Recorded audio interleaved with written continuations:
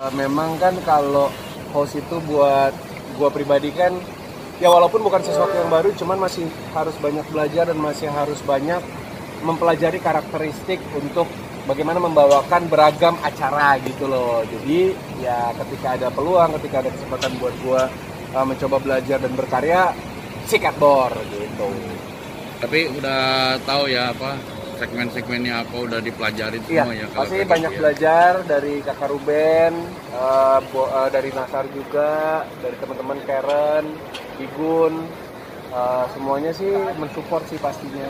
Jadi memang em, di saat-saat sekarang sih malah sebenarnya buat gue pribadi tuh lagi berpikir keras apakah gue balik lagi ke sinetron atau gue fokus ke posting, presenting gitu loh. Jadi itu yang sebenarnya lagi gue tuh lagi pikir itu banget gitu loh sekarang.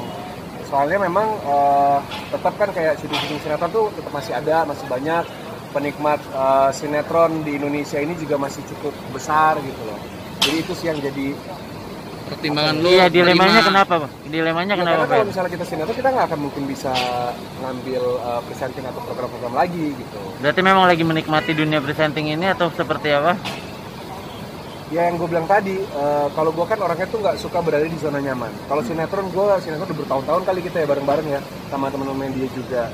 Cuman kalau presenting itu kan walaupun udah lama juga, cuman uh, apa ya buat gue itu masih belum gue belum kayak mendapatkan em, puncak atau maksimalnya gitu. Jadi gue lagi pengen terus-terus berusaha dan memaksimalkan eh, ini gue di situ sih. Itu aja. Pertimbangannya apa tuh? Eh, terima jadi ini presenting pertimbang maksudnya? Iya.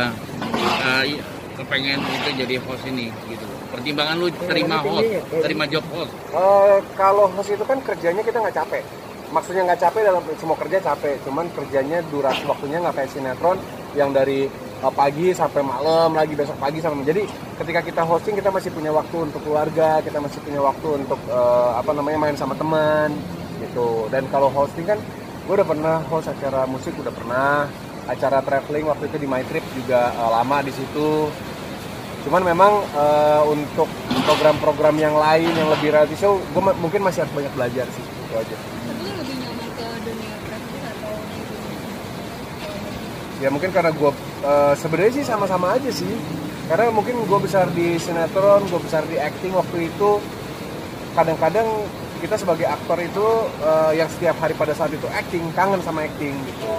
Cuman kan kalau hosting kan lebih ke improvisasi kita lebih ke bagaimana mempelajari bintang tamu kayak gitu aja sih. Oke